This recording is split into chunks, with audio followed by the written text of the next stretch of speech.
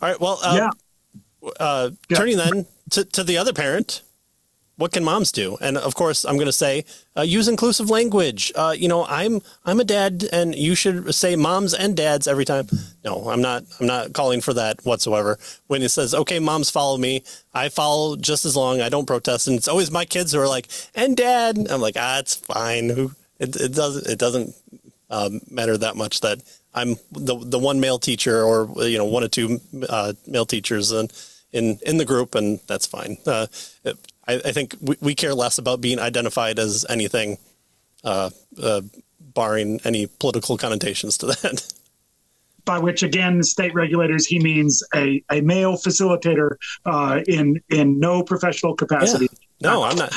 It's just introducing concepts. Yes, exactly.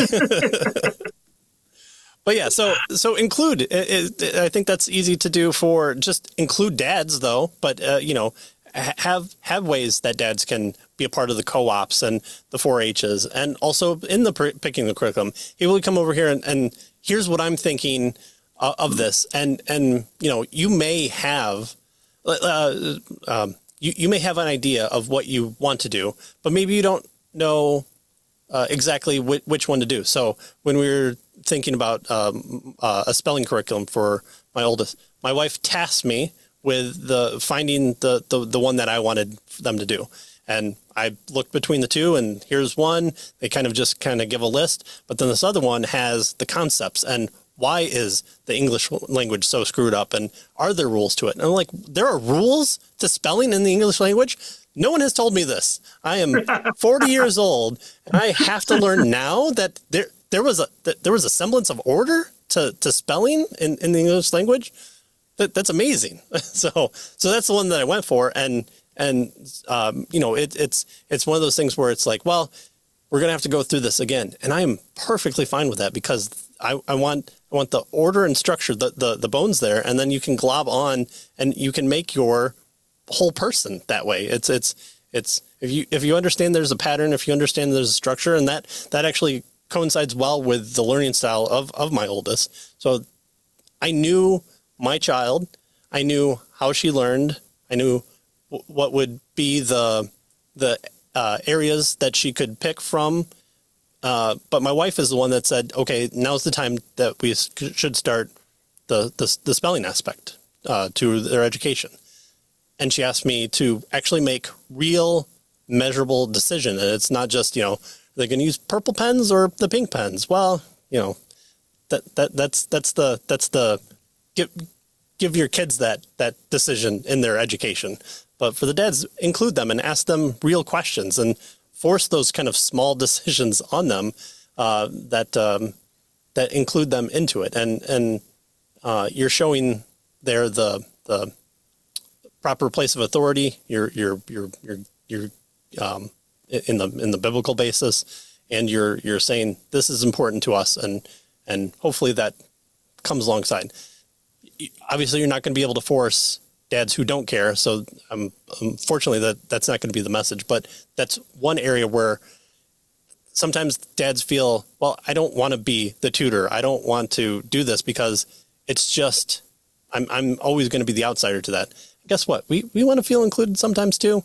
And so holding us by the hand and bringing us in is something that you have to do with us as well because just like how women have their own proclivities to uh, child rearing, so do men. Yeah, absolutely, absolutely, and and um,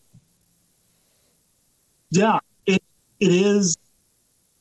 Um, what and I, one of the things I would say is, uh, um, if if dad is um, doing the leading as he should be in terms of family worship, um, then um, then just just as just as I think it's a good idea for dad to come alongside and say, okay, what are what are you doing?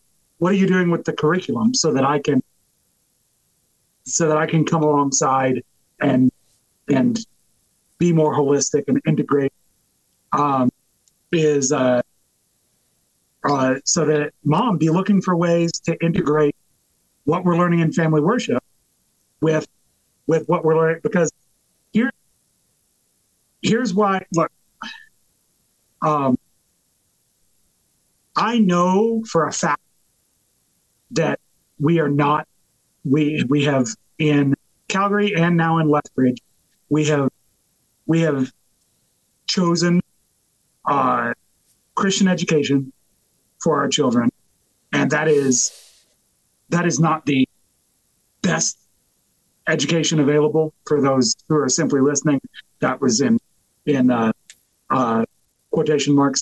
Um, um, the uh, they didn't get they didn't get the they're, they're not they're not receiving the objectively best um, academic education um, that they that they could be receiving in either place. We have better options in both places. Um, but for us, the very important, the most important part is that we want our children to realize that the fear of the Lord is the beginning of this. Mm. I've already said in what I think is this episode um, that that uh, um, that uh, my daughter said, you know, how are they supposed to know when a Tyrannosaurus lived? They don't know that God made the Tyrannosaurus, right? Is the fear of the Lord is the beginning of wisdom. If you don't know that, you haven't learned it. You do, there, there, there isn't, there isn't, um, uh, there isn't the possibility of having um, a strong academic education without the without the fear of the Lord. It's not just that it's not just that that would be undesirable. It's actually impossible.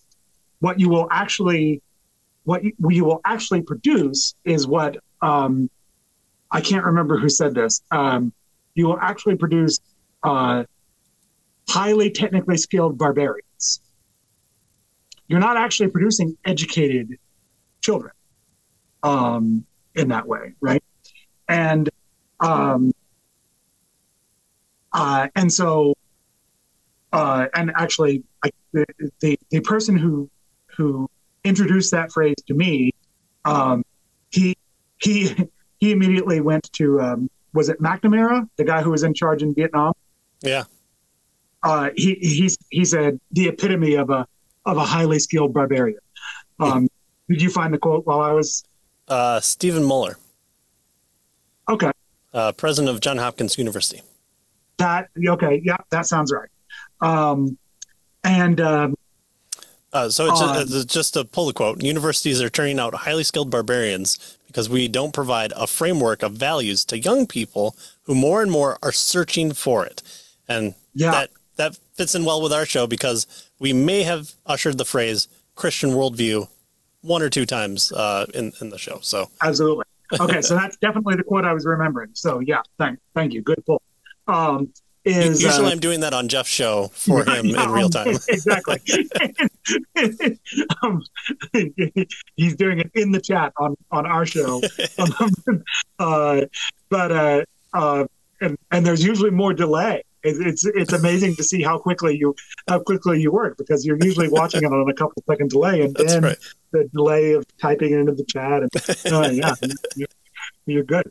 Um, anyway, so um, uh, so yeah, it's um, again, it's not, it's not, it's not that the the better education um, is simply undesirable. It's actually not better. It's actually not an education. It's actually just the the production of highly skilled barbarians, um, and and the uh, and so so having recognized that, then what? Then what's the what's the imperative in Christian education? What it's to it's to I I um uh uh I think I think this is even in Alberta law, and it's it's the perfect word for this. It's that it, it permeates mm. every other aspect of the education. Um, that that there there is no there is no aspect of um, the education that is not Christian.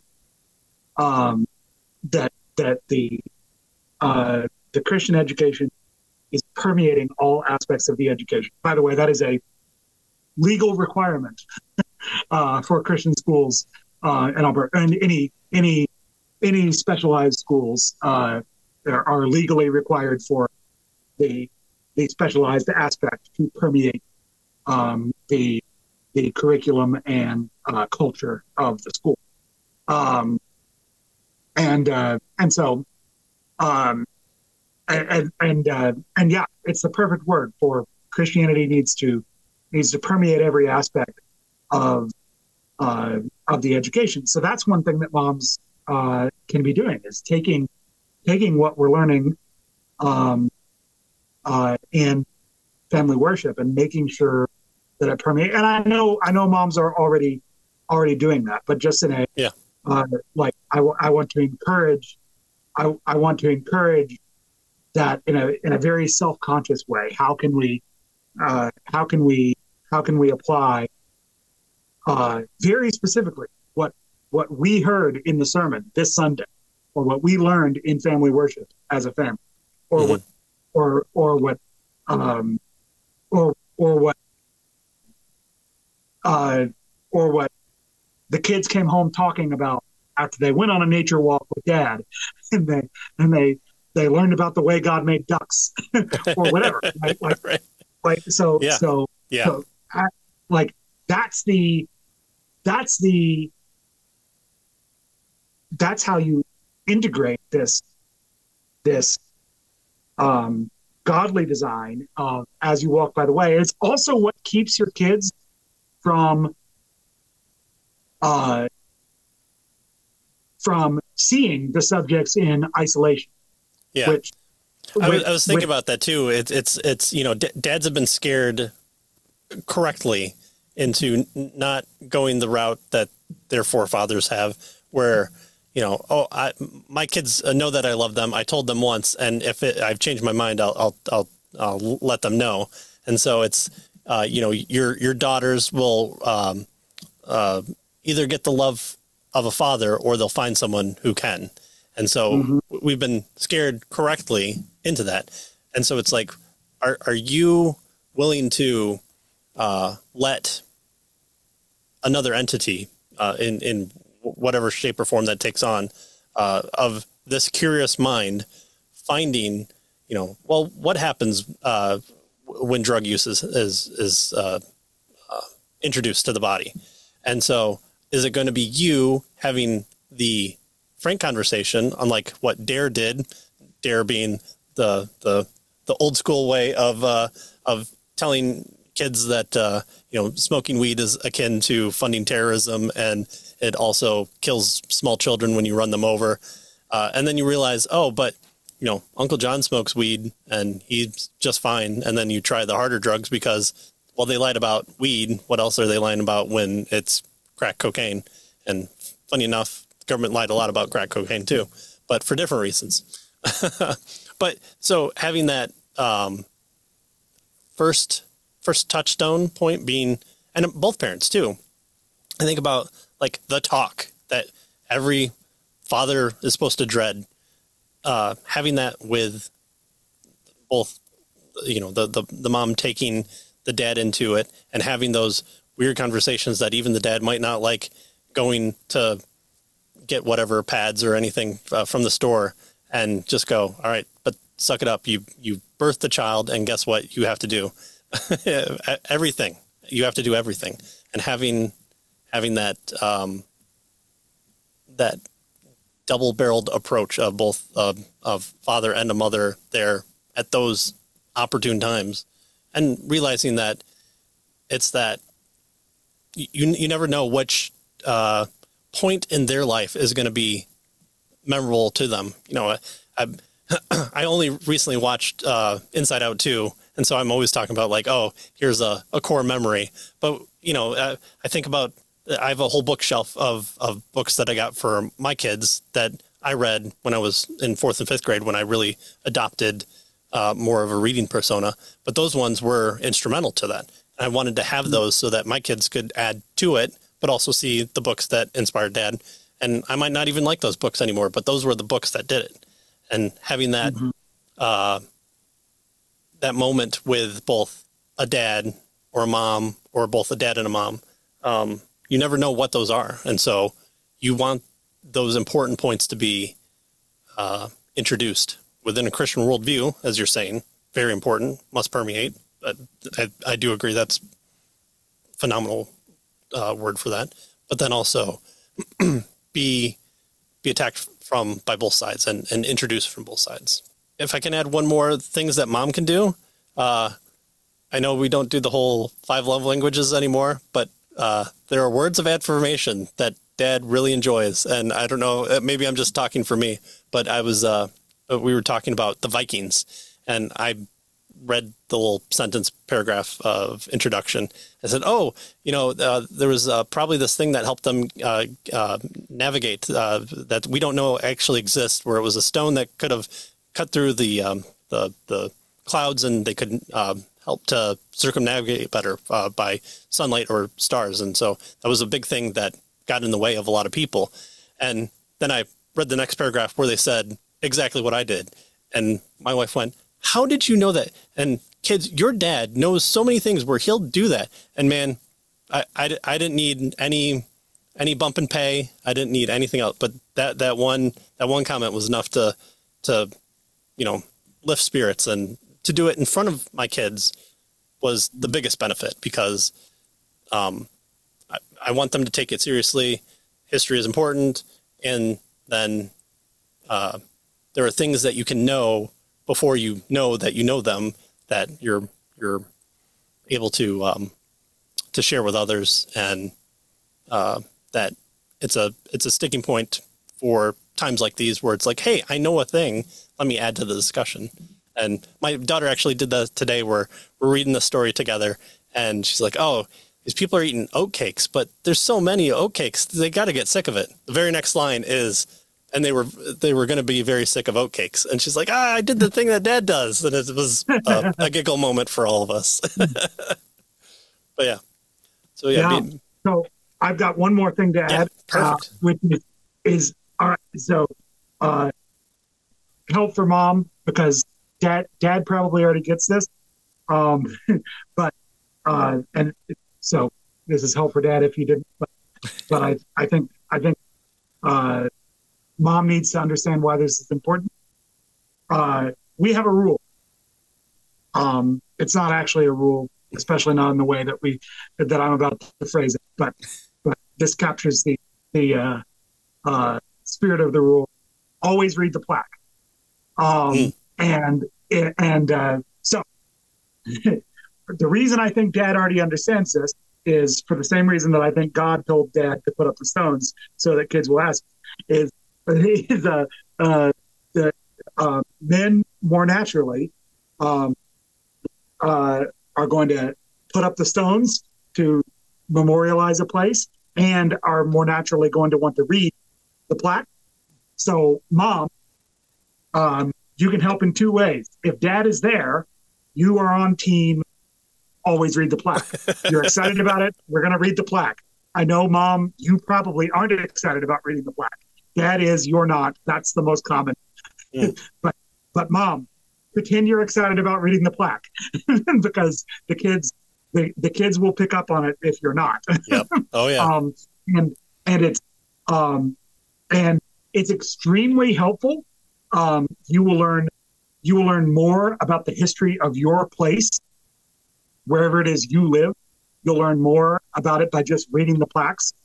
Um, it, whatever whatever plaque is available at the park that your kids play at, or at the um, uh, on the walking trail, or do you guys have um, do you guys have the roadside uh, plaques as, as, so much in, in your area? Some oh, places oh, do. Some yeah, sure. Usually it's connected to a park or something like that in memoriam or uh, a war okay. memorial or something like that. Yeah. Okay, yeah. So, well, yeah, a lot of them, a lot of them were specifically earmarked for like war memorials and stuff. Mm-hmm. Um, but, uh, but I get one uh, in in Alberta, we have them very frequently as like it's just like, um, it's just a, a, a spot to kind of get off the road, stretch your legs, throw some things away, maybe maybe there's a bathroom there, maybe there's not, maybe there's a playground there, maybe there's not, but it's um, that's where they'll put you know the the just rest areas to just pull off the road for a Mm. second is where they'll put um, the uh, Alberta's history, uh, and uh, and you can read um, uh, you can read about something that happened near here, um, and and, uh, um, and uh, you can get uh, you can get so much local history and be so much more connected to the place where you live and and um, and uh, like in in ways that you never um, they're never going to pick up from uh, from a, a regular curriculum. Uh, how how would a regular cu- curriculum replicate the hyper local um, Oh yeah.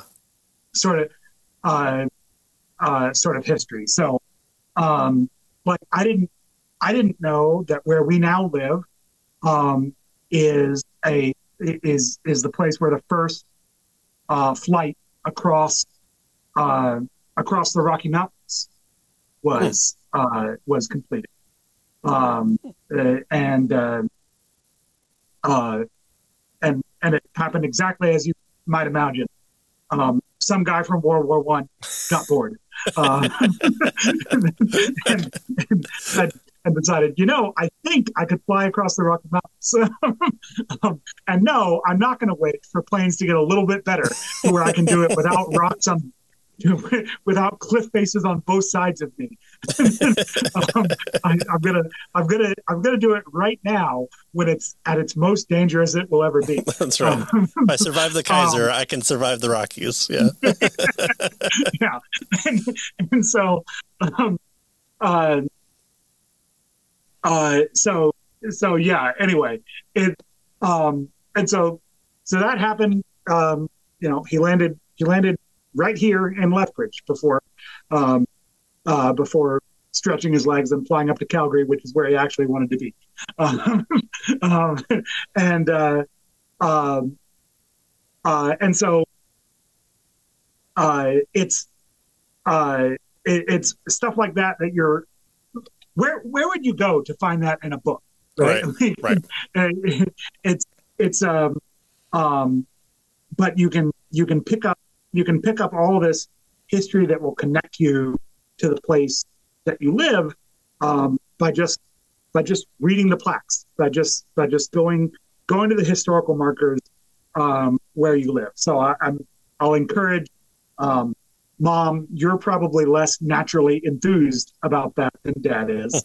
Um, but uh, but but for the sake for the sake of your kids and and and all of you sort of getting that connection to the place you live it would be good it would be good for you to be enthused about that and even you know if you if you take your kids to the park and dad's not there see if you can get them to read the plaque You- Right. they might actually your kids are probably actually interested in in doing that Yeah.